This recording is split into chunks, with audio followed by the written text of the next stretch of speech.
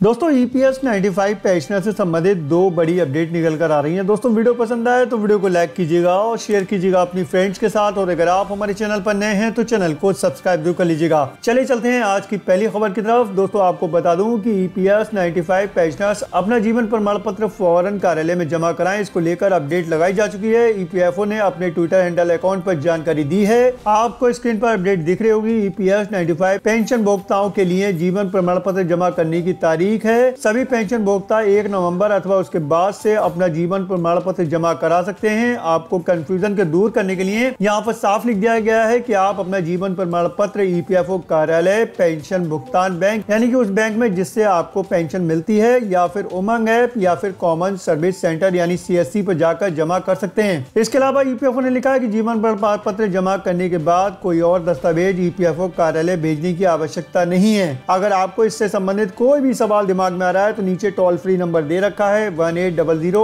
one one eight zero zero five इस number पर call करके आप इससे संबंधित जानकारी पा सकते हैं। दोस्तों, आपसे गुजारिश है कि अगर आप ईपीएस 95 पेंशनर्स हैं और अगर आपने अभी तक अपना जीवन प्रमाण पत्र जमा नहीं कराया तो आप अपना जीवन प्रमाण पत्र अपने नज़दीक के ईपीएफओ कार्यालय या फिर आप अपने बैंक की ब्रांच में या फिर घर बैठे उमंग ऐप या फिर आपके घर के पास में कोई सी एस सी सेंटर है तो वहाँ पर जाकर जमा करा सकते हैं, जिससे की आपकी पेंशन में आगे प्रॉब्लम ना हो, आपकी पेंशन आपको टाइम पर मिलती रहे। दोस्तों कमेंट बॉक्स में आके आप लोग मुझे ज़रूर बताइएगा कि आप लोग देश के किस राज्य से ईपीएस 95 पेंशनर्स हैं। नीचे कमेंट बॉक्स में आके अपने राज्य का नाम, अपने ज़िले का नाम और आगे लिखिए ईपीएस 95 पेंशनर्स जिससे कि आगे मुझे न्यूज़ देने में मदद मिलती है। चलिए चलते हैं आज की अगली अपडेट की तरफ़। अगली अपडेट निकल कर आ रही है एनएसी के वार्षिक सम्मेलन को लेकर। एक अपडेट लगाई गई है प्रेस विज्ञप्ति, समस्त दैनिक समाचार महोदय ईपीएस 95 राष्ट्रीय संघर्ष समिति का वार्षिक सम्मेलन दिनांक तेरह ग्यारह दो हज़ार उन्नीस को सरदार पटेल संस्थान कैंपस के किसान भवन में सुबह 11 बजे से होना निश्चित है, जिसमें मुख्य अतिथि के रूप में राष्ट्रीय संघर्ष समिति के राष्ट्रीय अध्यक्ष कमांडर श्री अशोक राव जी होंगे।